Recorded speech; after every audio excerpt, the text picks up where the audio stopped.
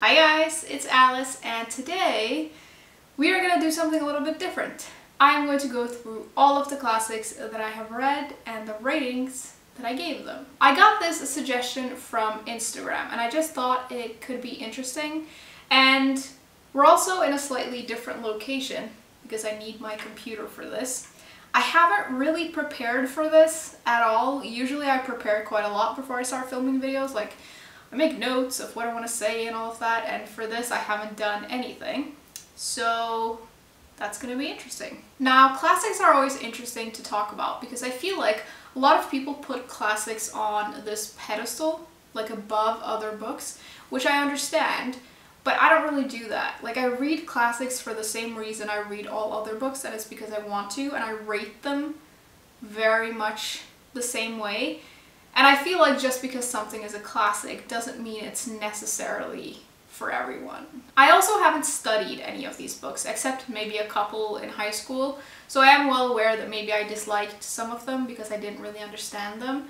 So there's also that and yeah maybe some of them I just didn't get. Also I think that we can all have different opinions about books and still exist in the same space. I feel like I'm saying all these things because I know that there are some books on here that people love and I didn't, so I'm like nervous.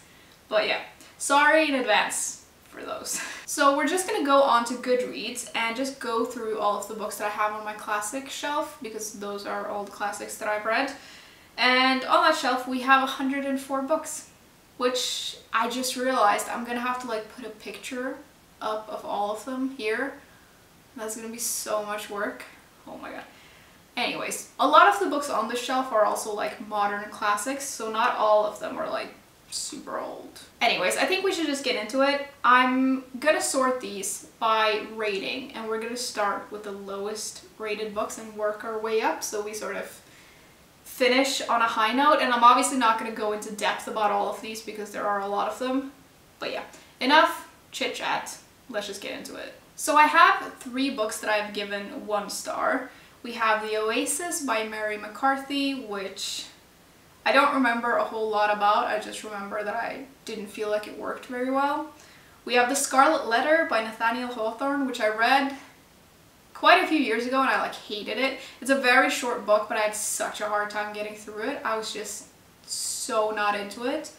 And then we have Oroonoko by Aphra Behn, which is like a little thing from the 1600s. I think it's one of the first things that was ever published by a woman and it's like super racist, so I gave it one star. Moving on to two star books. The first one is one of those books that I was thinking about when I was like, we can all have different opinions because I know so many people love this book. But I read Little Women by Louisa May Alcott and I gave it two stars. I read this like five years ago and I just couldn't get into it for some reason. I feel like maybe I wasn't in the right mood, but I just, I don't know. I had such high expectations for that book. I was so sure I was going to love it, and a lot of people actually still recommend it to me because I don't think they know that I've read it. And I just, I don't know. I just couldn't get into it. I was really bored, and it was just, yeah, it was not my jam. Maybe if I reread it, I would like it better, but I also got rid of my copy and I feel like maybe I just didn't like it.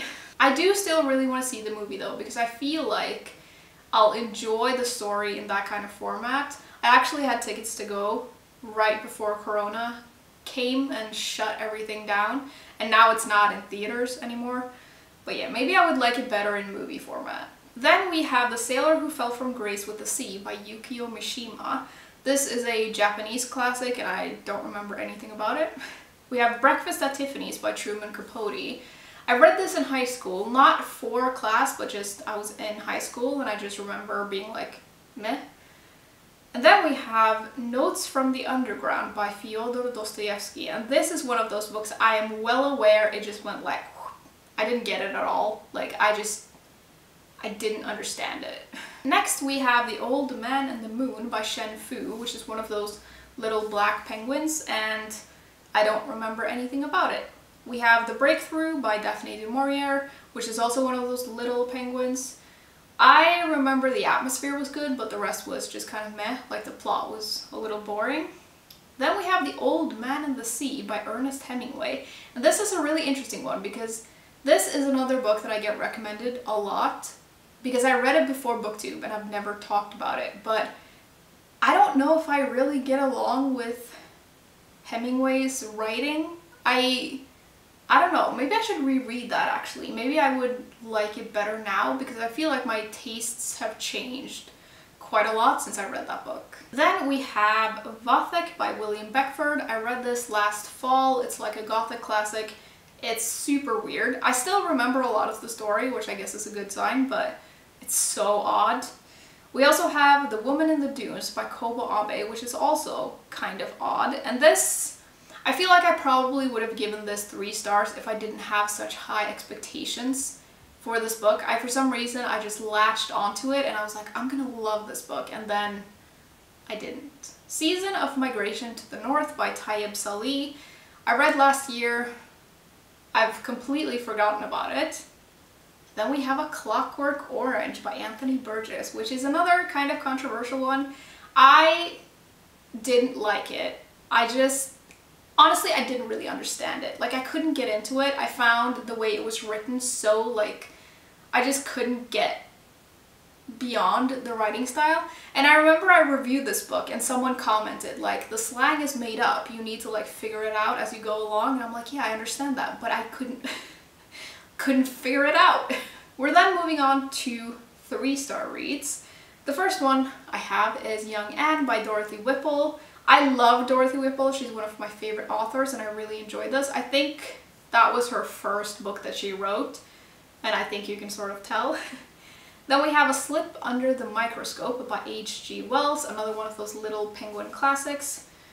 Don't really remember anything about it. Then we have The Joy Luck Club by Amy Tan, which I enjoyed, but I didn't love. A really interesting classic that I've read is Ubik by Philip K. Dick. This is a science fiction classic and I reviewed it on this channel and I was like, this is one of the craziest things I've ever read and it still is. I think that if I reread it, I might give it four stars because it was very confusing the first time around, but I feel like maybe on a reread, I would appreciate it more, if that makes sense. Then we have Madame Bovary by Gustave Flaubert. I, that is not how you say it, but whatever. I don't remember a whole lot about this except that I think it's about a woman who cheats on her husband. Another Ernest Hemingway that I have read is Hills Like White Elephants. This is, I think, a short story and we read this for English class in high school. And I think the reason that I liked it so much is that we studied it, which made me understand it a lot more. And I also just loved my English teacher. She made everything really interesting. Then we have an F. Scott Fitzgerald, This Side of Paradise. I think it's a short story collection, don't remember anything about it. The Cornish Coast Murder by John Bude. Don't remember anything about that either. Then we have Persuasion by Jane Austen. I don't remember a whole lot from this. I think that if I reread it, I would give it four stars. I think when I read it, I was like not in the mood for it at all and because of that I like didn't enjoy it as much as I could have. Then we have Strangers on a Train by Patricia Highsmith which is a crime classic and it's really good. I think that you can see how that book has made an effect on writers today. Like I think it's very impactful. Then we have We Have Always Lived in the Castle by Shirley Jackson enjoyed it but didn't love it as much as I thought I was going to. I think that I had it hyped up a little bit. Then we have Oliver Twist by Charles Dickens, which is one of the very few Dickens novels that I've ever read. It might be the only one actually. And I enjoyed it, but I think that I think that it was a little obvious in some ways. Next we have a Norwegian classic, which is De Dødes Tjern by André Bjerke. This translates to The Lake of the Dead. There is no English translation of this available, unfortunately, but this is so creepy and spooky and atmospheric. I really, really enjoyed it. The only reason I gave it three stars instead of four is that it has quite an outdated view on women, but like the actual mystery and the spookiness is just so good. Another Norwegian classic is Peer Gynt by Henrik Ibsen. Henrik Ibsen is one of Norway's most famous writers. This is a play and we studied it for school. And I feel like most Norwegian students have studied some sort of play by this author in school, like everyone has to go through that. Then we have To the Lighthouse by Virginia Woolf. I really like Virginia Woolf, but this wasn't my favorite by her. And then we have Miss Ranskill Comes Home by Barbara Bauer. I really enjoyed this, but I mixed this book up with another Persephone classic, and I think that the other one that I'm mixing it up with was better, but I don't remember what it's called. Then we have two Christmas classics. We have The Santa Claus Murder by Mavis Doriel Hay.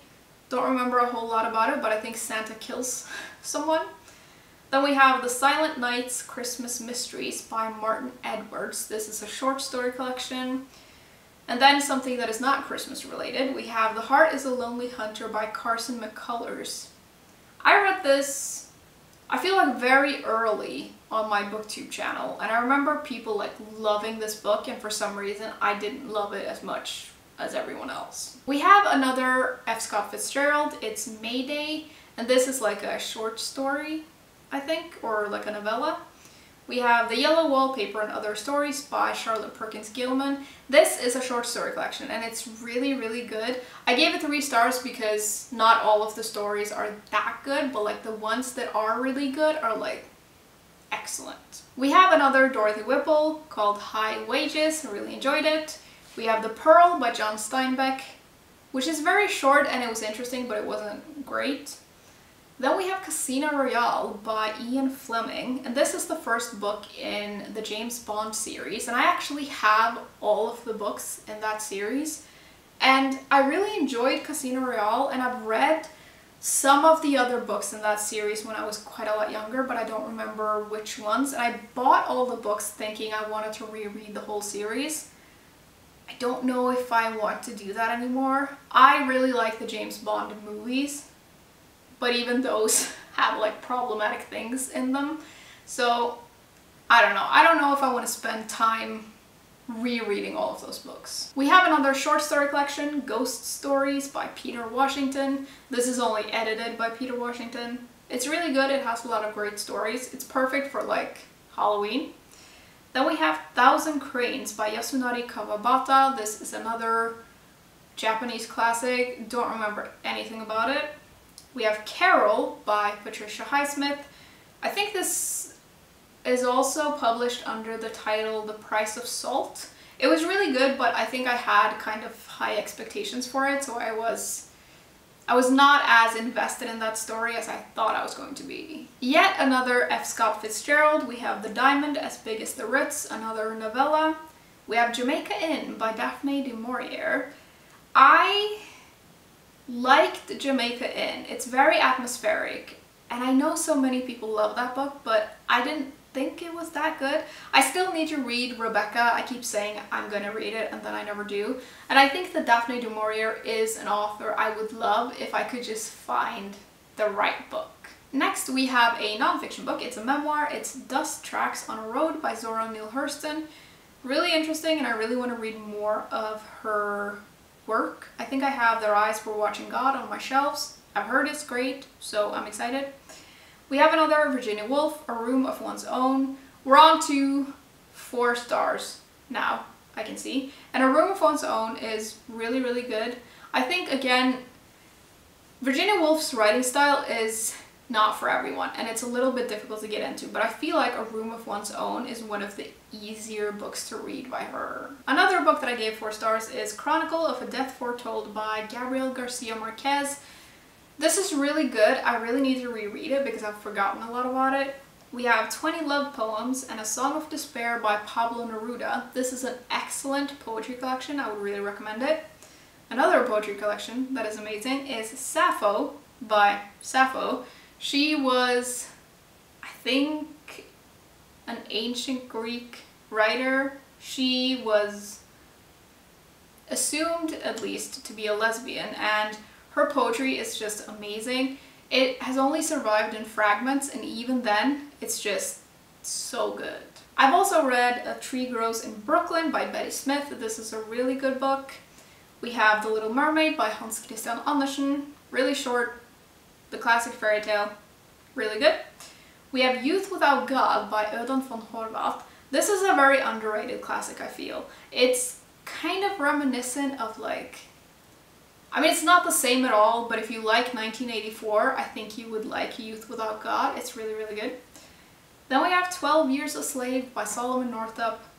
An excellent book. It's difficult to read and the language is quite, at least for me, it was a little bit difficult to get into, but it's a very, very good book. Next, we have the longest classic that I've ever read by far, and it is War and Peace by Leo Tolstoy.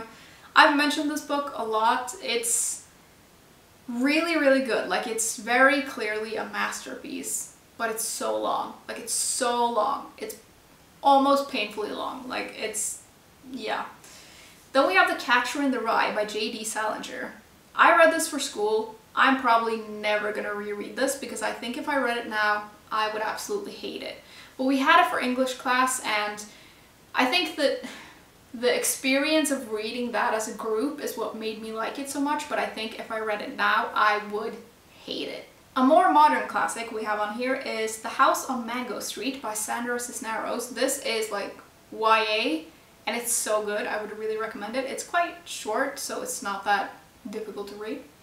Then we have Brave New World by Aldous Huxley, which is a very, very interesting book. I remember when I read it, I kept like thinking, oh my god, this is so effed up. Like this is, this is so messed up. And I don't think I've read a lot of books that have made me feel that way, but that one really did. Another Persephone classic is Miss Pettigrew Lives for a Day by Winifred Watson. I really, really like this one. It's delightful, I feel like is the right word for it.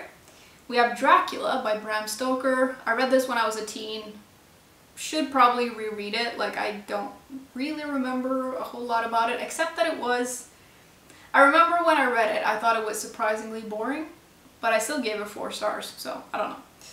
Another Persephone classic is The Far Cry by Emma Smith. Really enjoyed it.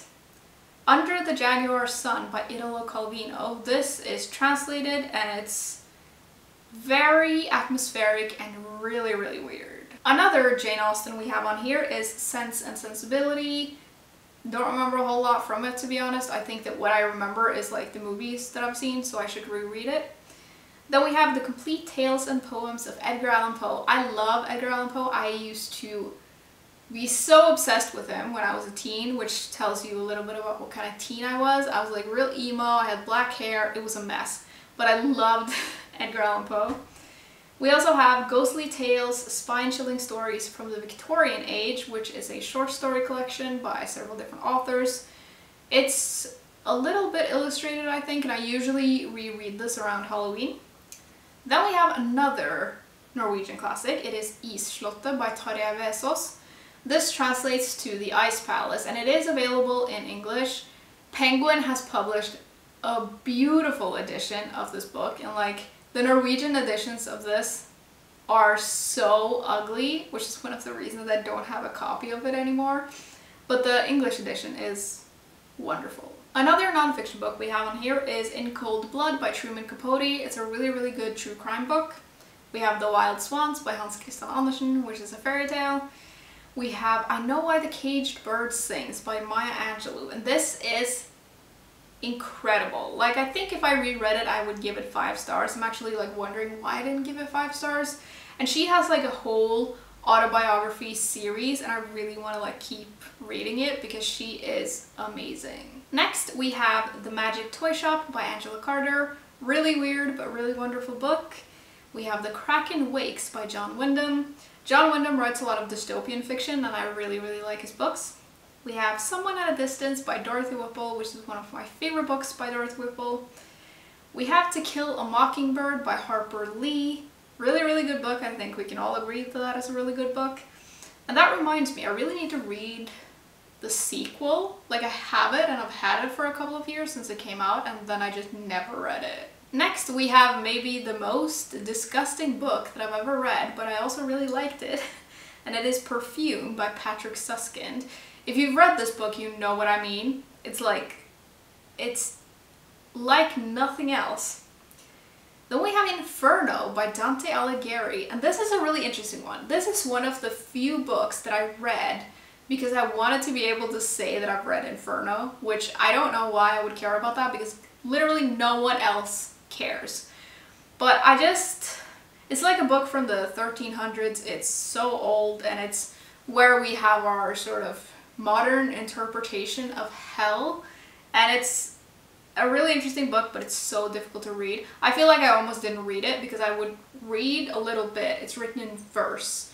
I would read a little bit and then I would have to read on Spark Notes what I had actually read because I just didn't really understand it. then we have another Japanese classic and it is The Hunting Gun by Yasushi Inoue. I read this a couple of years ago and obviously I liked it because I gave it four stars but I don't remember anything about it really. Then we have The Tenant of Wildfell Hall by Anne Bronte. This is a really good book and I feel like it's very underrated. If you like the Brontes, you should read this one too and not just the other two sisters. Then we have Dr. Jekyll and Mr. Hyde by Robert Louis Stevenson. I feel like we all know what this story is about and I really like that book. I think it's worth reading even if you know kind of what it's about. Another Christmas book is The Night Before Christmas by Nikolai Gogol. This might be my favorite Christmas book that I've ever read. It's really, really good. Then we have Of Mice and Men by John Steinbeck. I really like this book. I don't remember that much about it really, but I liked this one a lot better than the other one that I read, which was The Pearl. And I really want to read more of Steinbeck's work. I have East of Eden, and I think I'm really going to like it. Another Norwegian classic is Kristin Lavransdatter by Sigrid Undset. And this one I actually wrote a whole paper on in school. And everyone in their final year of high school in Norway has to write a kind of big paper about a Norwegian book or books. And I feel like everybody hates that assignment and I kind of did too, but there is like a little bit of a risk of not doing it well because you can have that project be a part of your final exam, which sucks. Guess what happened to me? I got it as my final exam. And what's really funny about that is that my paper was fine, like it wasn't great, but it was fine. And I remember the person who was going to give me the grade, he asked me some questions about it and I just answered something that I read online. And when I got my final grade back, he was like, I was so impressed by that. And I was like, mm, yeah, I didn't, I just stole that from the internet. then we have another Edgar Allan Poe, we have The Telltale Heart, which is one of those little black classics and I really like it. It might be one of my favorite stories by Edgar Allan Poe. And then we have The Bloody Chamber and Other Stories by Angela Carter. I really like this book. I don't remember a whole lot from it though, so I should probably try to reread it. Now, finally moving on to the classics that I have given five stars. First we have Animal Farm by George Orwell. This is one of my favorite books ever. I think it's really, really good. It's It just blew my mind when I read it. I thought it was really impressive. Then we have Anna Karenina by Leo Tolstoy, another one of my favorite books. I love Anna Karenina. I think it's such a good book. It is kind of long and sort of time consuming to read, but I think that it's just, it's a masterpiece. Then we have And Then There Were None by Agatha Christie. Probably my favorite Agatha Christie novel that I've ever read. I have read quite a lot of Miss Marple and Poirot, but I think that although I really like those books, they're never, like the mystery is never as good as the one in And Then There Were None. I think that that is her best mystery. Next we have Far From the Madding Crowd by Thomas Hardy. I really like this book. I especially loved the descriptions of the scenery. We have The War of the Worlds by H.G. Wells. I don't remember a whole lot about this book, to be honest. I don't really know why I gave it five stars. Did I really like it that much? Because I just have totally forgotten about it. Then we have A Study in Scarlet by Arthur Conan Doyle. This is the first book in the Sherlock Holmes series. We also have The Sign of Four, which is the second book in the Sherlock Holmes series. I really should continue that series. I think I have some more of the books. I read a lot of classics in like 2015 and then I just sort of fell off the bandwagon. One of my favorite books ever is The Handmaid's Tale by Margaret Atwood. I love The Handmaid's Tale. I think it's so, so good.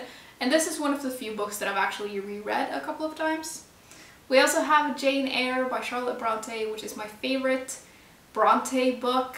It's one of the first sort of more serious classics that I ever read and I remember thinking that it was surprisingly easy to read. Then we have The Great Gatsby by F. Scott Fitzgerald. I know not everyone loves that book, but I really, really love it. Another Thomas Hardy is Tess of the D'Urbervilles. I don't think... I don't know if that should be in the five-star category, to be honest. I much prefer Far From the Madding Crowd, and looking back at it, I don't think I enjoyed Tess as much as I thought I did, which is a weird thing to say, but yeah, I think maybe that's more of a four-star read. Another book from the Bronte sisters is Wuthering Heights by Emily Bronte. I gave this four stars. It's absolutely ridiculous. It's so melodramatic and I don't know if I'll ever read it again. I think I would have to be in a very particular mood because it's it's just so dramatic, like unnecessarily dramatic. But when I read it, I was really into it because I was in that kind of mood. Then we have another John Wyndham. We have The Day of the Triffids, which is my favorite John Wyndham and one of my favorite books ever. It's a dystopian novel where these everybody goes blind these plants are trying to kill everyone. It's super weird, but it's so good. Then we have yet another Norwegian classic It is A Doll's House by Henrik Ibsen. I read this in school. I don't think I would have given it five stars if I didn't read it in school and I learned a lot about that play. It was very controversial when it came out because spoiler alert, it's like ancient, but spoiler alert, the woman, this is about like a family and a woman and at the end she leaves her family and that was considered so incredibly controversial at the time that when they put it up in theaters, because this is a play, they changed the ending because they were like, we can't put this up because no woman would leave her family. And I just think that's really interesting. Next we have Alice's Adventures in Wonderland and Through the Looking Glass by Lewis Carroll. I really like this book. It's like taking a hit of acid. It's super weird. It's like such, uh, it's like really unstructured and just very, very odd, but I really like it. And yes, I do get told a lot, like when I tell people my name, they're like, oh, like Alice in Wonderland. Swear to God, like 70% of the people I meet say that. And I don't really know why, like, yes, it's, it's like Alice in Wonderland, obviously. then we have The Dumb House by John Burnside. This is really, really weird book, but I really liked it. I don't know if I would love it as much on a reread. Then we have Frankenstein by Mary Shelley, one of my favorite books ever. I understand why people don't get along with it because like the first bit and the last bit are kind of difficult to get through, but I think that the core of the story is just so good. I think it's amazing. Another classic that I read for school is Lord of the Flies by William Golding. I really like this book. I think it was beneficial to study it. I don't know if I would have loved it as much if I didn't study it, and I would actually like to reread it. I actually ended up stealing this book from the school library in high school because, I don't know, I just took it home and I forgot to bring it back and then no one ever noticed, so I just kept it. I don't think I have it anymore, but I like found it when I was moving out of my parents' house and I was like, oh, I totally forgot about that. Obviously, do not steal books from your library. That's not good. Next we have 1984 by George Orwell, one of my favorite books. I think it's really, really good. It really, at least for me, it really changed the way that I think about a lot of things. Then we have my favorite book by Dorothy Whipple. It's They Were Sisters. I love this book. If you like Dorothy Whipple or books like that, you're gonna love this one. Then we have kind of an underrated book, I feel, because I never hear anyone talking about this, and it is Flowers for Algernon by Daniel Keyes. This is very, very interesting because it's about this man who is mentally impaired and he takes part in a trial that makes him really smart. But the book is written from his perspective. And in the beginning of the book, he doesn't really express himself very well, like he can't really write that well, so it's written as he would have written it, so it has like no punctuation or anything like that. And it's it's so good. It's very underrated. It's heartbreaking. It's, yeah. But I feel like if you like science fiction or like light science fiction, you gotta read that one. The last two books I have, finally, we're, we're at the end. we have Mrs. Dalloway by Virginia Woolf. This is my favorite Virginia Woolf. It's set over the course of only one day and I think that if you can read it all in one day in the summer, it's like absolutely perfect. Then we have The Secret Garden by Frances Hodgson Burnett. This is my favorite childhood classic. I this is one of the very first books that I remember reading and being like, oh my god, so this is what books are. I was so impressed and I was so enamored. I do think that there are things in that book that are problematic and I am aware of that, but I just, I have such nostalgic feelings about the book and I think it's, although there are problematic things, there are also amazing things about that story. Okay guys, I know that was a lot, but we've made it to the end of this journey that we've taken together. At least these are all the books that I've added to the shelf. I may have missed some, but I don't know, it doesn't really matter. I also feel like filming this video was kind of fun because I usually have so many like notes and things I want to touch on and for this I just went like I just went with it and it's gonna be a mess to edit I can already tell but whatever I'm sure it'll be like okay. I'd love to know what your favorite classic is what your least favorite classic is and also maybe tell me some controversial or unpopular opinions that you have about a classic that you've read because I feel like that's always fun. And I will see you soon. Bye